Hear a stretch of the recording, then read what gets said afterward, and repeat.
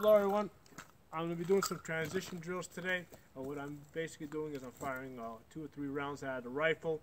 I'm assuming that the, that the, that the rifle has jammed at that point. I'm going to put the rifle on safe, and then I'm going to basically switch to the uh, to the pistol, fire two or three rounds from that, and repeat the drill.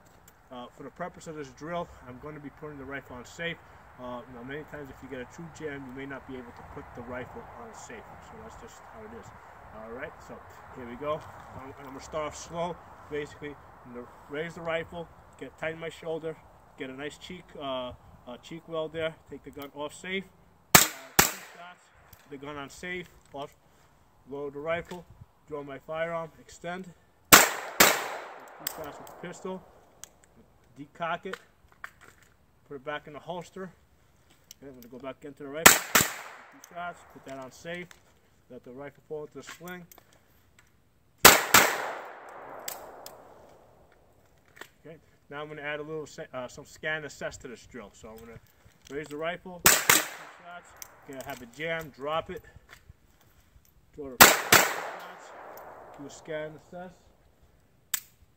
decock, holster the rifle.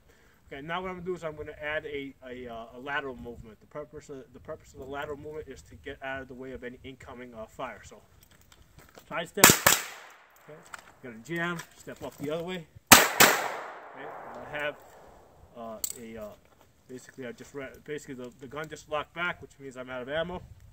Get another magazine in there. Get the gun back to thing. Do my scan and assess, and reholster the gun. All right, so again, let's try that drill one more time. I'm to sidestep, lift the rifle, the gun on safe, no sidestep, cock the pistol, and reholster. Okay. Uh, now what I'm going to do is I'm going to um, I'm going to add a sidestep with a drop to the knee. Okay. So sidestep, drop to the knee, two shots.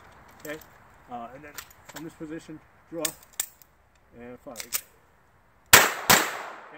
In that case, basically, I had a uh, uh, I had a misfire there, so I quickly uh, um, racked the slide to eject the bad round, put the next round in there, and took the uh, the next shot. Uh, I hope you enjoyed that.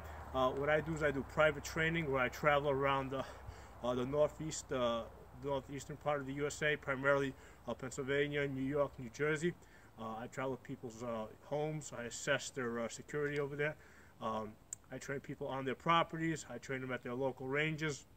Um, if you can't find, uh, if you don't know where to train, I'll help you find a location where we can train. If you're interested, please contact me and we'll set up an appointment for you. Thank you.